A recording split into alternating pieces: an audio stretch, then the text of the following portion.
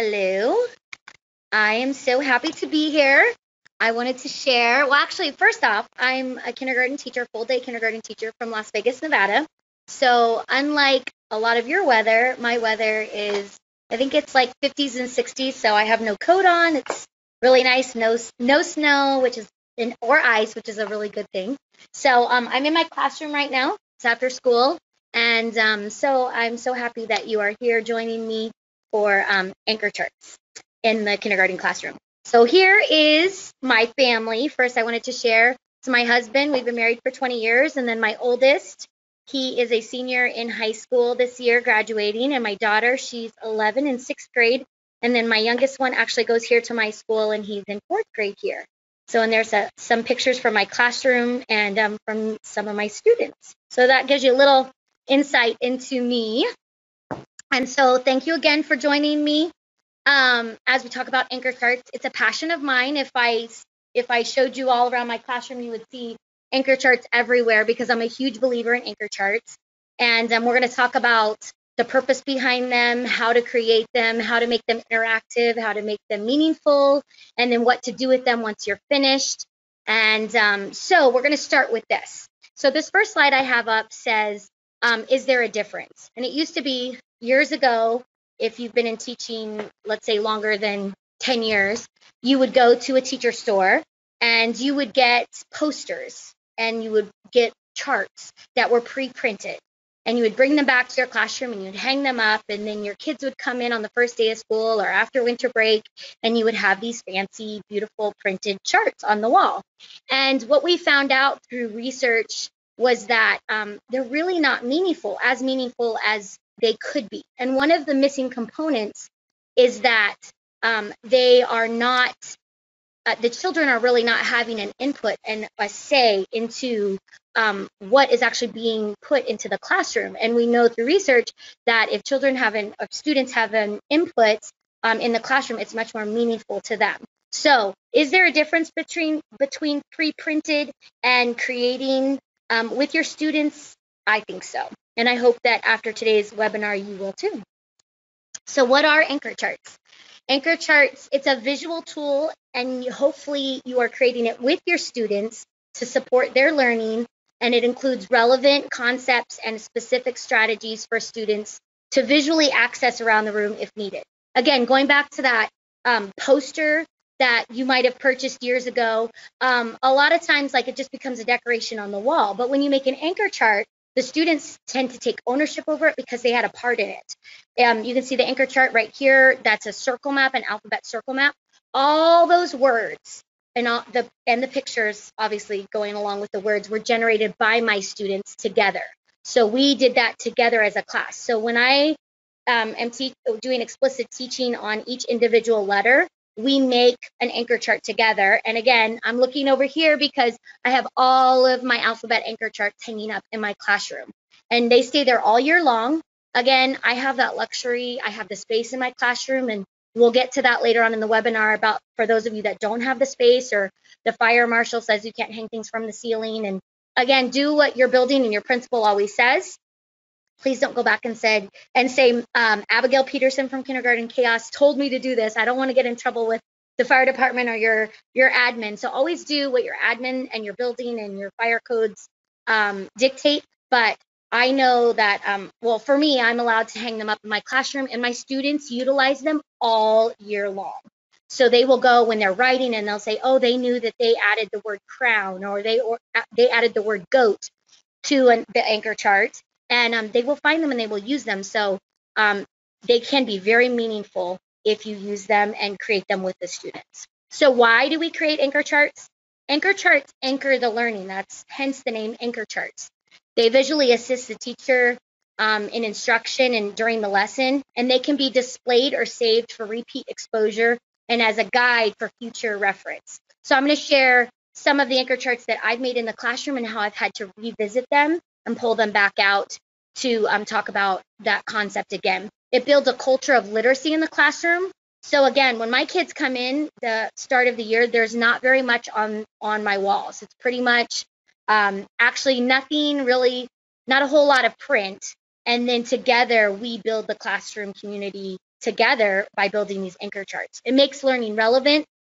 Students buy into it a lot more because they had a part and they take ownership in it. And then also it's a part of interactive learning. So here's some tools that I suggest that you use for um, making anchor charts. My favorite anchor chart markers are these Sharpie markers. Um, they're called Flip Chart and they're made by the brand Sharpie. I was at first using um, Mr. Sketch markers and um, I forget what the other ones. They're like the smelly markers too. Like there's Mr. Sketch and then there's another one. And what I found was that being in this room with the fluorescent lighting, it would fade over time just because probably, you know, whatever they're made of. But when I use the Sharpie markers, they don't fade to the extent that the Mr. Sketch and the other markers do. So they're my favorite and they don't bleed through because they are made for flip charts. They're made for this chart paper.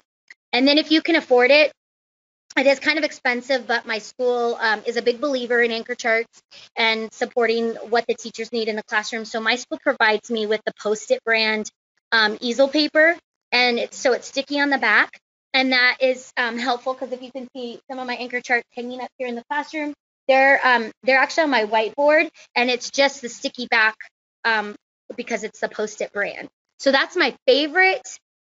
I had some um, people donate it was actually like recycled paper and it just tore so easily and it was I didn't care for it. So I really try to stick to the post-it brand. And then another thing I have that I think if you again, if you can, is to get a classroom clothesline. And I got this on Amazon and it comes with two 50 foot like clothesline ropes and I have it strung in my classroom and then it comes with the um, clothespins and that's how we hang a lot of my anchor charts. And I actually only have had to use one. And I have a pretty big classroom, but um, this is just a way to hang anchor charts in your classroom um, purposefully and kind of utilizing that space that you normally wouldn't use. Another thing I do is I use, I'm going to grab them real fast.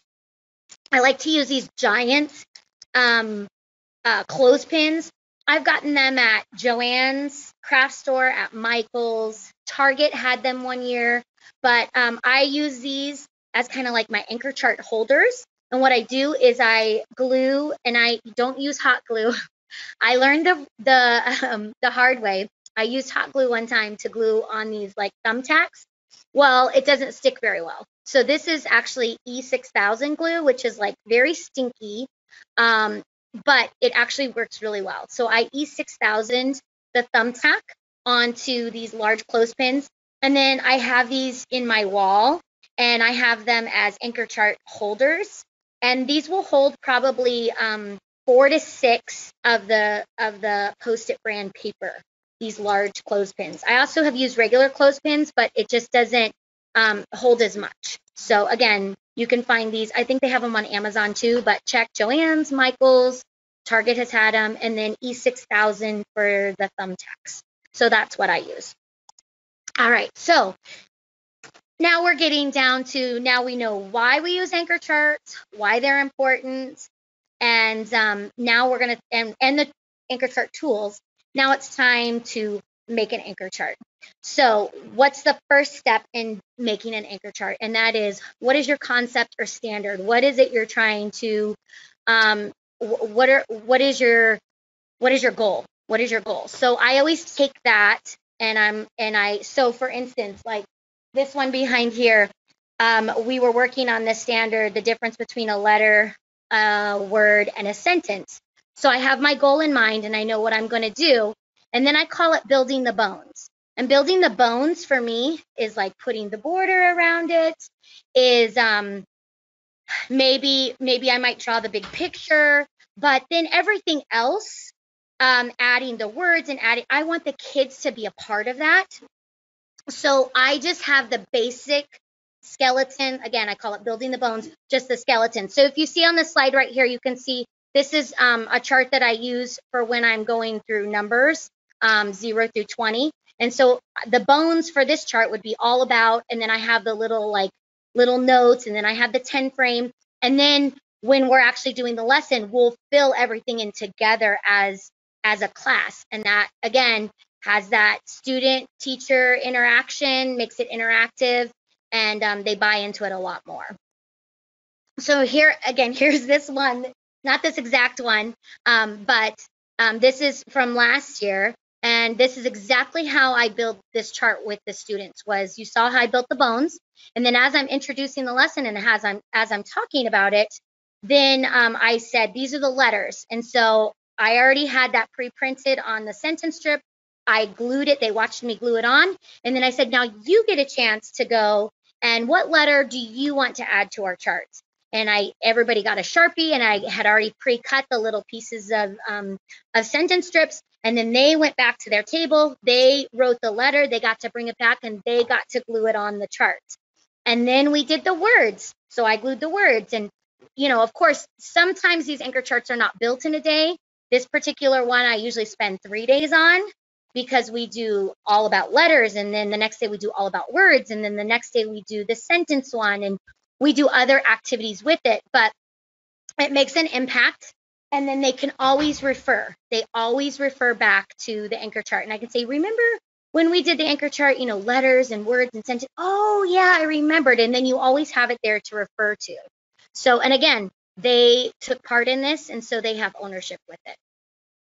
Making in anchor charts interactive. This is one of this is kind of like my goal not my goal in life but like my goal in the classroom is to make learning as fun and as interactive as i can.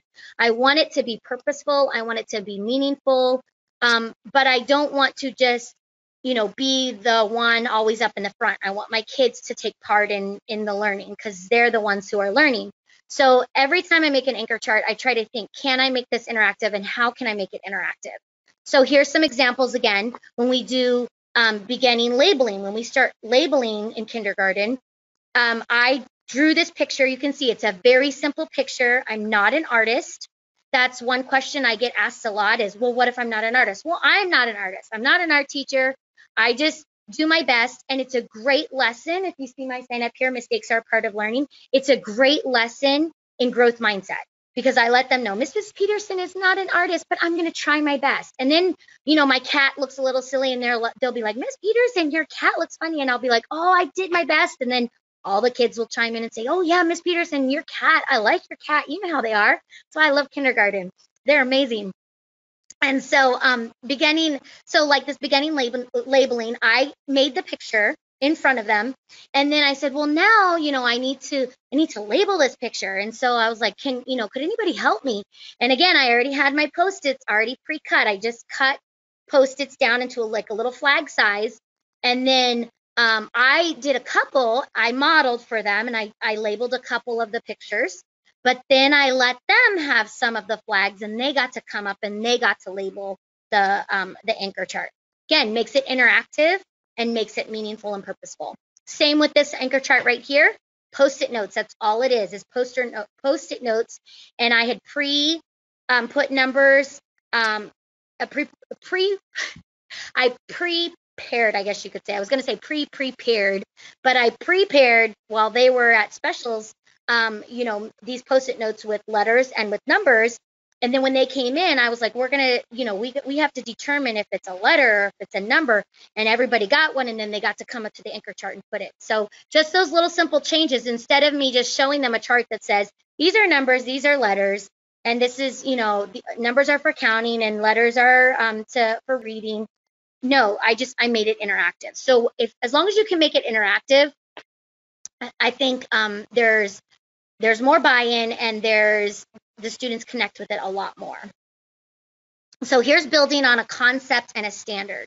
So again, going back to what I said before about not every anchor chart is going to be built in one day. I say built, but that's kind of how I feel. Is I feel like it's a process and something that we're building, and we're definitely um, building on these skills. And so this was um, um, ha- drawing with shapes, learning how to draw at the beginning of kindergarten. I can draw with shapes, and so you know, I I did I modeled this how I made this person using shapes, and then we labeled it, and uh, you know, I we as you can see, I pointed out, oh, using rectangles for legs, and I used a circle for the head. And then, you know, at the bottom of the chart, don't forget your details. And then this is something that I I keep hanging up in the writing station so that when they go to the writing station, that they can always refer to that. Oh, I do know how to draw a person because remember when we were, you know, when we um, worked to build a, a person and using shapes, and they can always refer back to that.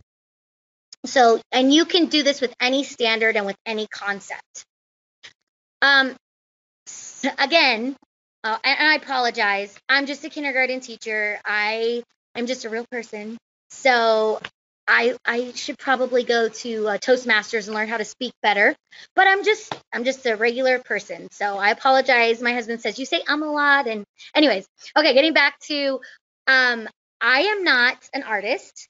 So I do my best, and Google is my best friend. So I will always sometimes um, Google an image, sometimes not always, but sometimes will Google image um, if I'm looking for something specific. And I can usually kind of copy it and draw it.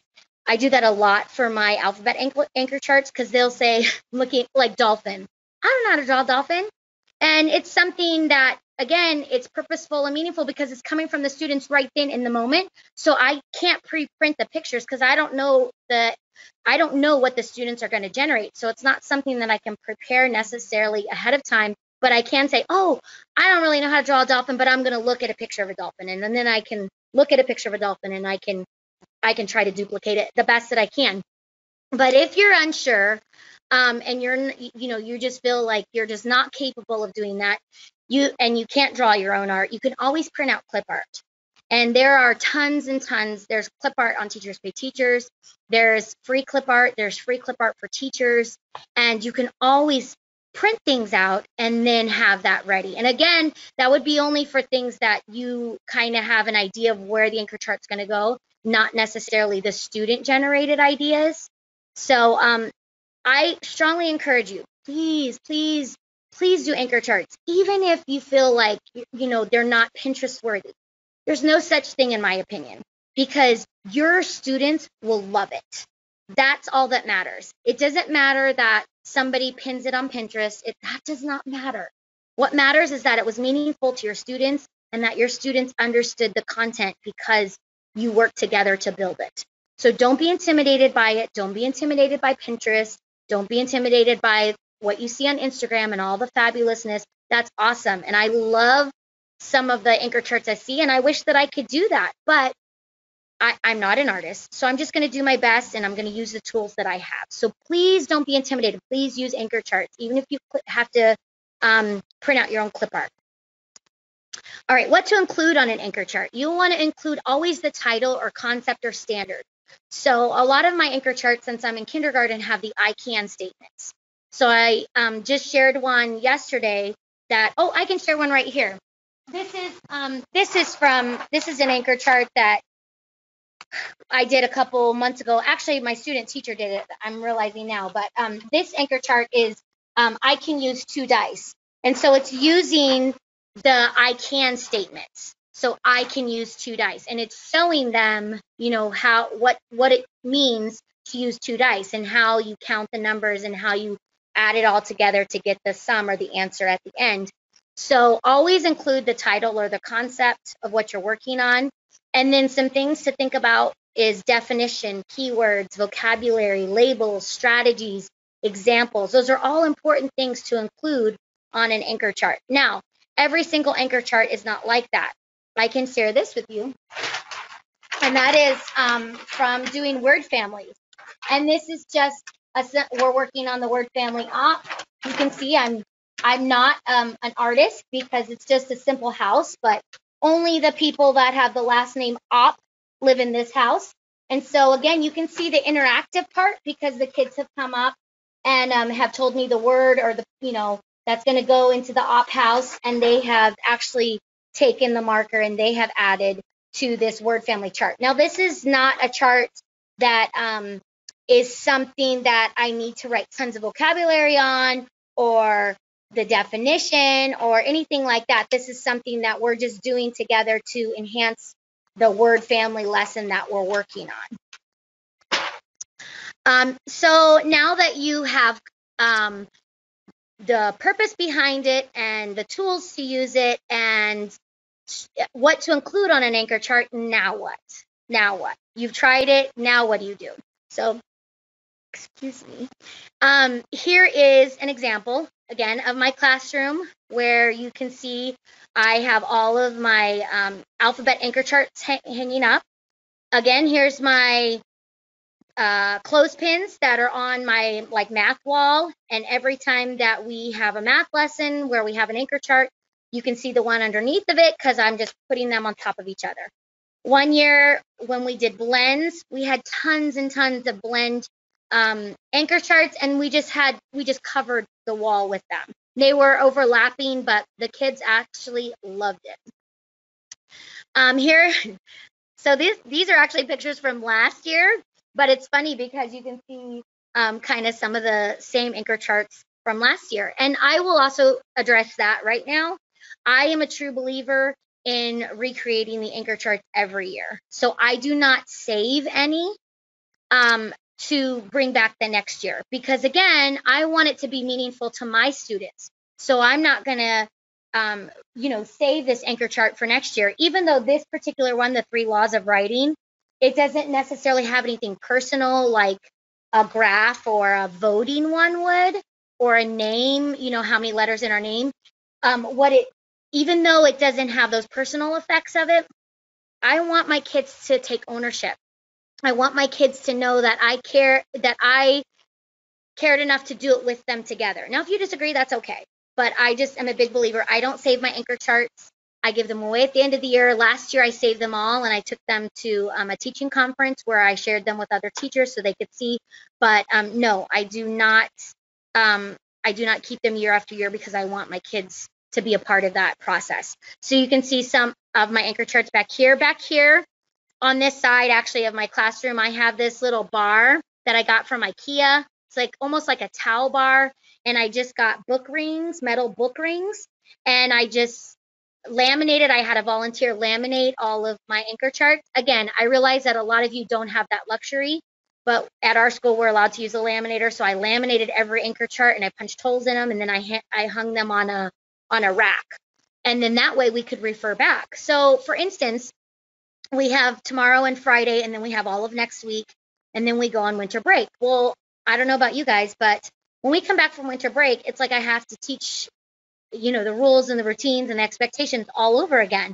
So it's great that I've already covered, you know, how to use our school supplies and what the um, library rules are and what the rules for sensory table are. So I just pull those anchor charts back out and we just cover. Remember at the beginning of the year we talked about blah blah blah blah. Oh, do you remember that so and so said scissors are not for cutting hair? And oh yeah, they suddenly remember. So that's one of the um, powerful reasons why I do keep them for the entire school year so that I can pull them back and um, and share with students. I got a new student last week so again, it's a great tool to pull out and say, hey, we want to share the rules and the routines with you, and this is what we talked about.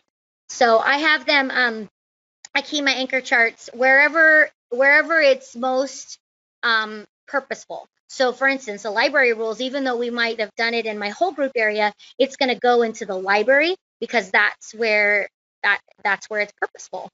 Here's an idea. Um, this is not mine, but taking command hooks and then just a tension rod and again having those book rings and you can keep your um, anchor charts that way uh, you can roll them up.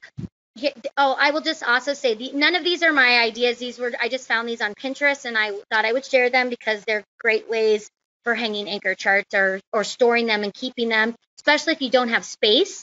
One of the ideas is to roll them up put a rubber band around them or a paper clip or a binder clip and then you'll want to put a little label on it so that you know what what it is and then um, put them in a trash can or um, some sort of bin so that you can find them later another teacher she did dowel rods same concept she took a dowel rod and had um, the anchor charts hole punched with rings and then hung by a ribbon so a nice fancy way to do it another idea for using anchor charts in the classroom is to have a um, specific wall for them. So like a math wall or a what we're learning wall. And then the kids always know, you know, where to look for those specific anchor charts. I'm actually going to see if I can go back. And I wanted to add, I personally don't have any of these particular ones in my classroom, but if you do not have space and you can't roll them up and you know you want another option, another option would be to take a picture, you know, with your phone of the anchor chart and then to print it out in like a five or a four by six. And you can either make a ring of those specific ones, or you could do like the little IKEA frames um, with the little small binder rings and then have them, you know, have them displayed like that. So again, I don't have any of those because I have plenty of room in my classroom to keep my anchor charts out and about. But if you don't have room, that is an option that you could um, you could utilize. All right, here's some anchor charts that work for kindergarten. So I'm hoping that a majority of you guys are kindergarten teachers or primary teachers, either early childhood or kinder first um, grade. These are anchor charts that I personally have created in my classroom with my students, and I know for a fact that they work. One of the things that I learned when I first started teaching kindergarten, even though I had already been a mom and I had already taught second grade, I moved to kindergarten and I did something called a suicide. And what a suicide is, is when you assume that they know things. And so I came into kindergarten and I assumed they knew how to use scissors and I assumed they knew how to use crayons and I assumed they knew how to use these things. Well, I found out very quickly, and if you're laughing with me, that's okay because I laugh at myself all the time. I found out very quickly that they do not know how to use these supplies and these tools. And so I used to start off um, the very first day of school having crayons out on the table. And there would be crayons and there would be something for them to color. And I found out two things. One, they would sit down, some students would sit down and scribble scrabble, and that would be the end. And then they're coming up to me and saying, Teacher, teacher, teacher. And I'm trying to console a crying child or a crying parent or, you know, helping, helping, you know, trying to make those connections on that first day of school and um, you know all the busyness and somebody's already scribble scrabbled and that's the end of it.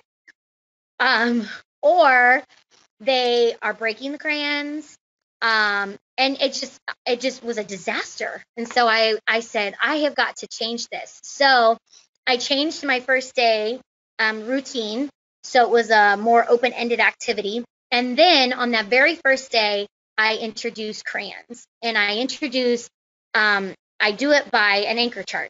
And we talk about these are crayons. And then together, you can see this is not fancy. I didn't print out the words. This is just my scribble scrabble kind of handwriting. It's, you know, I'm not a hand letterer. It's just, it's just real.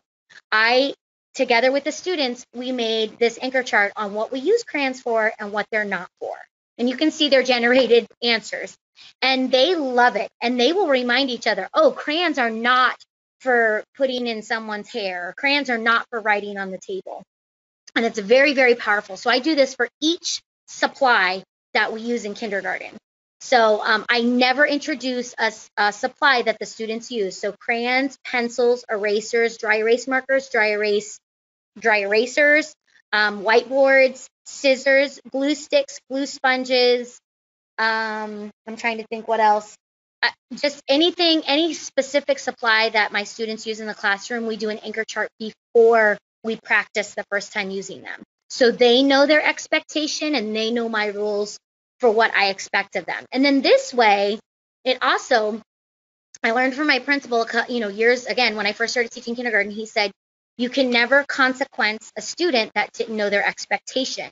And I never forgot that because that is so true. It's like again, when I first started teaching, and I was like, well, don't you know you don't break the crayons? No, honestly, you know, some of them might, but there are some students that actually don't know.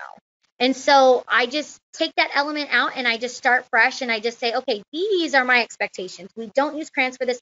And then if that happens, then I can always refer back to that anchor chart and say, do you know why you're getting a timeout? And they'll usually say, yeah, because I wrote on, you know, I, I cut my friend's hair. And then I'll say, well, let's look at the anchor chart. Remember when we made this?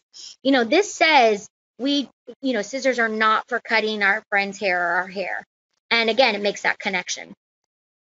Um, so this is the first week of kindergarten. Again, like I said, going over supplies. Another interactive anchor chart on our names in kindergarten. So I print out their names in bubble letters and they color it and then we count how many letters they have in their name and then they get to come up and glue it on the anchor chart. we talk about good coloring and um, writing between the lines and um, headline, beltline, footline. These are all important anchor charts, I feel like, that have been successful for me in my classroom in helping the kids understand what the expectations are. Here's some examples of literacy anchor charts. Um, three, way, three ways to read a book. So reading the pictures, reading the words, retelling the story. This is another one of those anchor charts that I don't do in one day. So I might do a mini lesson on how to read the pictures. So, you know, we would put this picture on the anchor chart and then I would do a mini lesson on, yes, you, you are a reader and you can read the pictures. And then maybe the next day or, you know, the following day, two days later, we uh, probably not, I take that back. It probably wouldn't be the next day. It would probably be a couple weeks later. We would probably do the read the words because by that time we might have, you know, a handful of sight words and we can, we're learning how to point and read words. So we would do the read the words. And then when I do a retell the lesson or retell the story lesson, then we add that component. And then this anchor chart would go in my library. Um, I also wanted to make anchor charts more meaningful, the, the alphabet ones that we um, do together. But when I was drawing the pictures, sometimes I found my students were not as engaged. And I thought, how could I make this more engaging and more purposeful for them? So at the beginning of the year, when we do our explicit um, instruction for letters, I, while I'm doing the anchor chart and they're generating the words, they also have their own journal, their own alphabet journal that is a circle map, and they're adding their pictures in there as well, along with me. So we're doing it together. They're generating the answers, and together we're both um, putting them on our anchor charts. Um, rhyming, you can see this one is like where I printed off rhyming pictures and then we did um, partners and they determined, you know, who's who's rhymed with who's and then we added them to the rhyming um, anchor chart. Another word family. Again, these are just pictures, pictures that are cut, you know, that I've printed out and cut out, but it's just so purposeful because the students get to come up to the anchor chart and and actually add it. This is one that I just shared on um, Instagram yesterday. It's um, my how to retell a story lesson, and I do it along with um, a retell bracelet. And so I I took a class a couple um, a couple years ago, and these retelling bracelets were a part of it. And um, I thought it was a great idea, and I came back and I did the lesson with my kids, but it was just missing an element. And so the next year when I did the lesson, I added in the anchor chart, and before I even had them use the bracelets, we created this anchor chart. And right now we're doing gingerbread, gingerbread man stories. And so we we basically built this anchor chart, the character setting, beginning, middle, and ending of story to go along with the gingerbread. And then after we build the anchor chart, then they get the bracelets and they get to practice. And then they can always refer back to the anchor chart um, for what the bracelet, what the beads, the colors mean. So a prime example of making an uh, anchor chart interactive and then useful, purposeful for the next few months of kindergarten. Um, when I'm teaching what is a question, the difference between a question and an answer, um, this is, I'll probably do this after break. So then they generated their own questions and they put their name on it and then they came up and they got to add it to the anchor chart. Here's some digraphs um, and then the ending ing, again, question words. So you can see there's pictures on there. These are words they've generated. Sometimes I have them come up and they get to underline the digraph.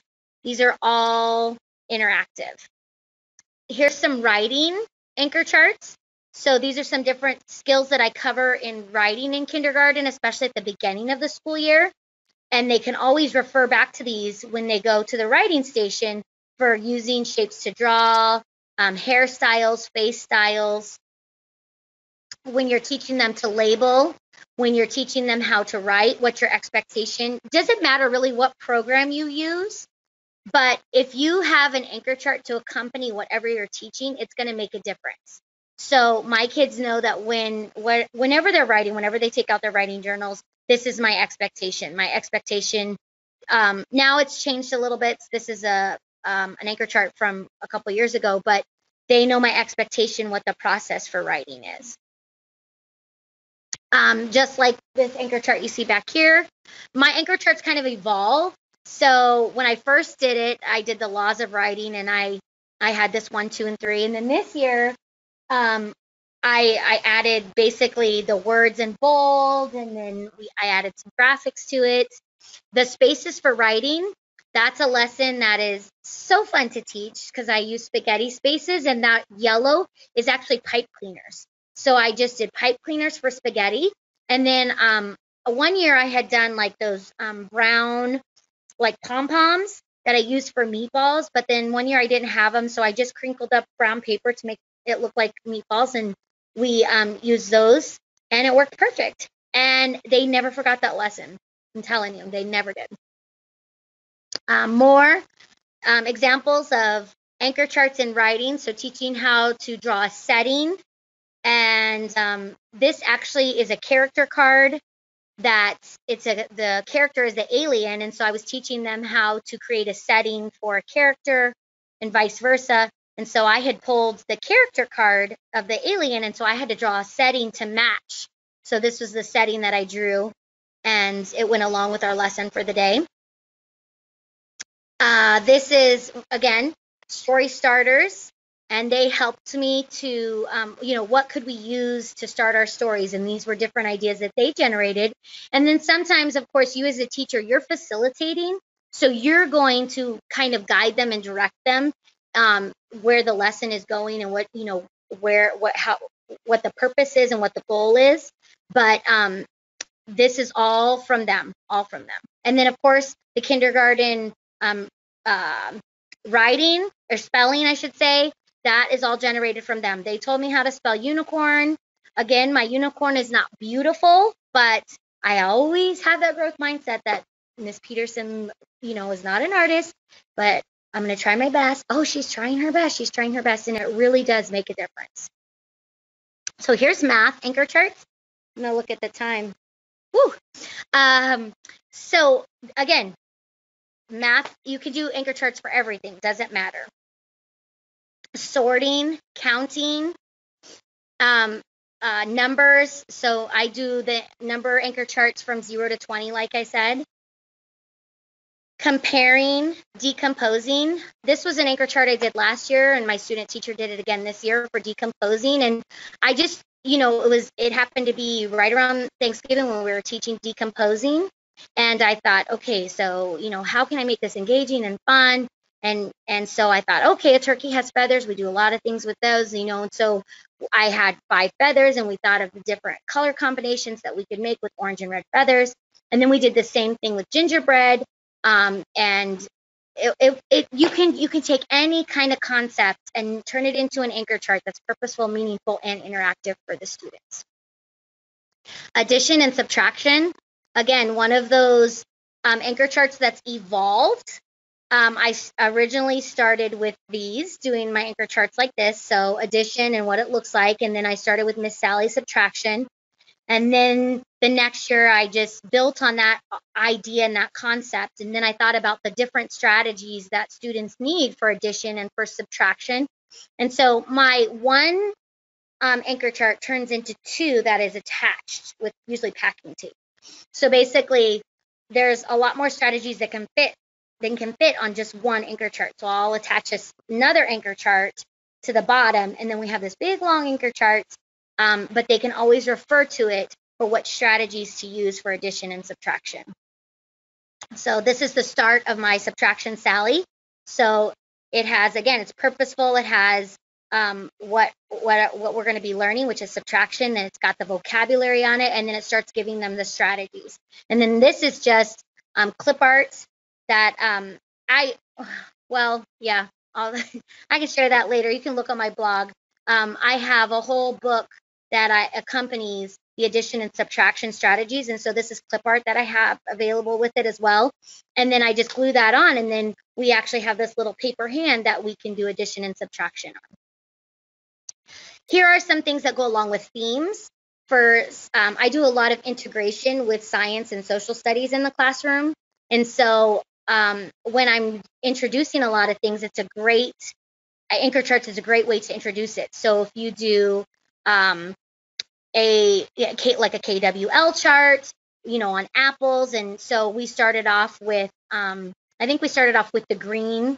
So I used a green marker to add, you know, what what we know about apples, and then we we did orange for or yellow, kind of yellow orange for what we learned about apples or what we want to learn, and then you use a third color. So those are just some different tricks. Again, you don't have to, but um, it works. It worked for me. This is an anchor chart for um, that was interactive. I just cut out little apple die cuts, and they got to um, choose which apple they liked best after we had a taste test, and they got to actually see their graph for our class.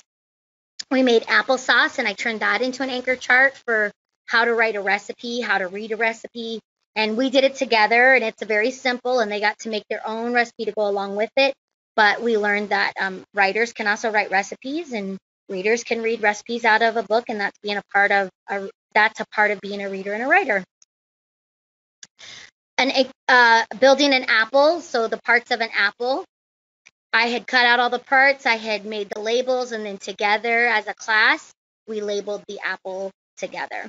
Same with the pumpkins. Then I got, I started off doing it simply like this one that just says label a pumpkin. And then the next year, which was actually last year, um, during October, I was like, okay, I, I liked how I added real seeds and, and yarn, but can I can I make this even better? And so I made this pumpkin and then um, it had it was like two parts.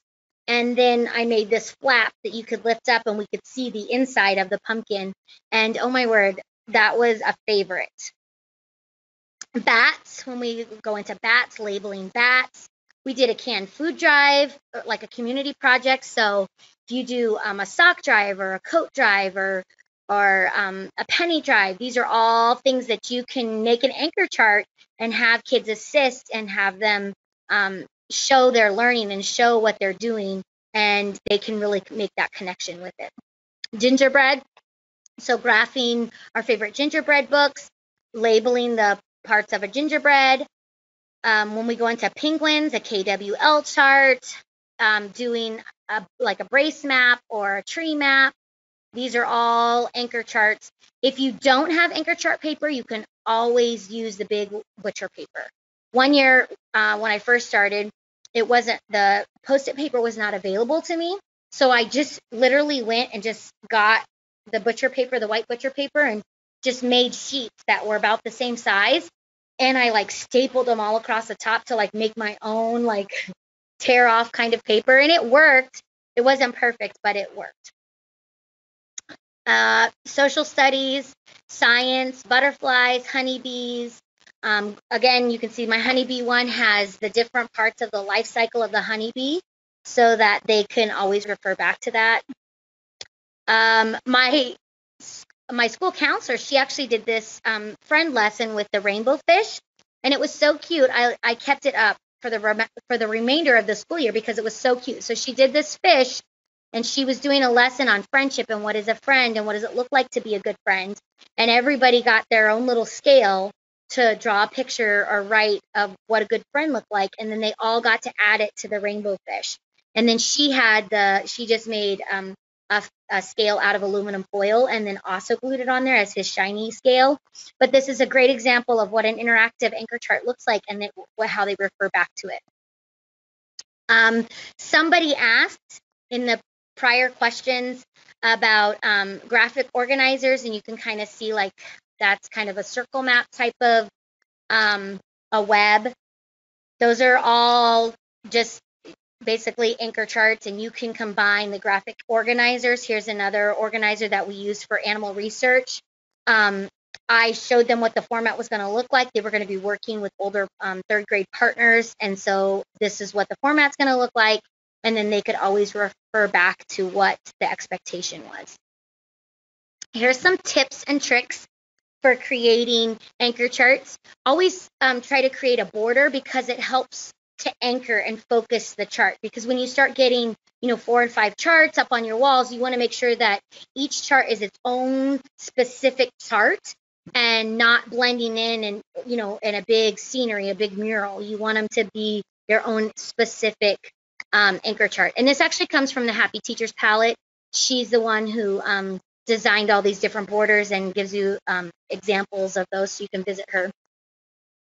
When creating the bones, create in pencil first. So if you're going to create the bones of the anchor charts, um, you can always create in pencil first and then go over it with marker just so that you make sure that you have enough space because there's been times where I've thought I've had enough space and I end up having to squish it in and and it's okay, but um, it's just a, a time saver.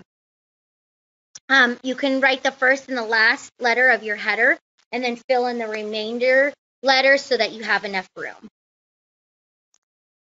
Um, leave some white space, add color, use pictures um, to help meet your objective, just like I did with the rhyming words. Um, don't become become too wordy. You don't want to have again. My goal, is, or in my grade level, is kindergarten, so it's a it's it's a lot more simple. So I'm not writing, you know, definitions and tons and tons and tons like you would in the upper grade. So if you're in kindergarten or you're in primary education, you're going to want to be less wordy and um, maybe have more anchor charts, but less wordy and not too cluttered. Think about meeting your students and their needs, what they need. ESGI is amazing. I use it in my classroom. I've used it for years. I love it. I'm actually doing it right now because this is we're at the very end of our semester. Next Friday is the last day of our semester. Report cards go out, so I'm using ESGI to um, to help me create my report cards. But most of all, create anchor charts with your students that are meaningful and have a purpose. I promise you, if you take some of these t- tips and tricks with you back to your classroom and you make it interactive and you try to be as engaging as you can, you will see you will see a difference. The kids will love it and they will refer to it and it will warm your teacher heart because it does mine when they're like, "Oh, I know how to spell um, banana because banana's on our anchor chart and they run over there with their writing journal and they you know spell banana because they are using the environment around them which is what we want as kindergarten teachers and primary teachers. We want them to use the environment around them to help them learn and to use those as a reference. So but most of all no matter if you're printing out pictures or if you're um, creating the pictures yourself as you know and you're a really good artist or you're not a really good artist it doesn't matter. What matters is that you create anchor charts with your students that have purpose and meaning and that the students will love and always refer to for the rest of the school year. So thank you very much for having me. I've enjoyed it. And you can find me at kindergartenchaos.com and all the coordinating social media.